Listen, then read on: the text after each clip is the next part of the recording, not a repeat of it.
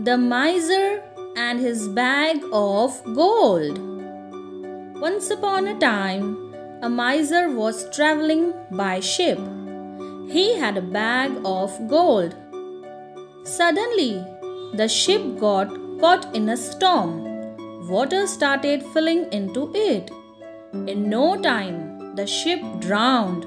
The miser was in the ocean with the bag of gold. He didn't want to let go of the bag.